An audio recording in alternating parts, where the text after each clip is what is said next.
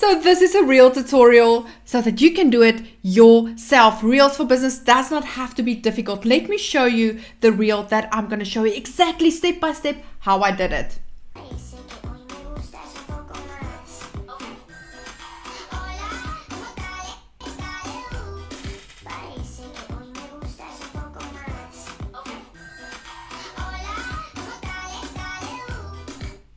Okay, so here is exactly how you do it.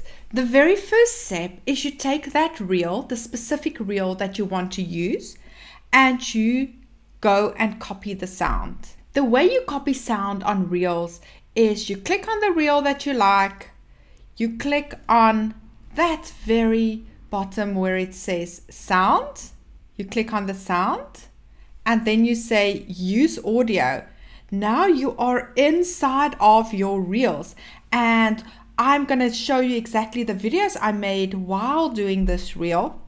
But what you need to understand about this is the first thing I want you to have a look at is this little um, watch. So if you do reels yourself, it's very important that you make use of the watch. So you're going to click on the watch. So this reel has got two scenes. Okay, we're gonna take the timer to where the um, transition has to happen. All uh, okay, so this is exactly where we want it. Then we're gonna put it on three seconds. Do a little bit, okay? We're gonna say set timer. So what's gonna happen now is when I press, it's gonna give me time to get into place. It's gonna play the song so this gives me time to go and sit and then at the ola I kick and that is where it stops. The next is I'm going to go, I'm going to show you the videos now. Then I'm going to press on this align button. This is the most important.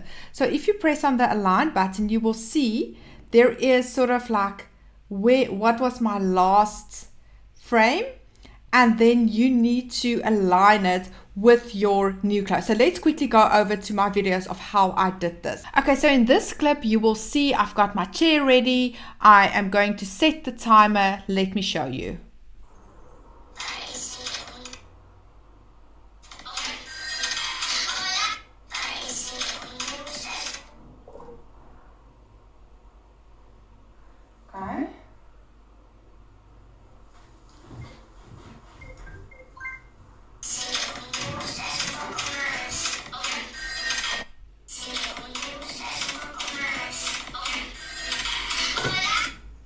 Okay so that is where I stopped that one and then I went to change and then this would be the last video you see how I am trying to get into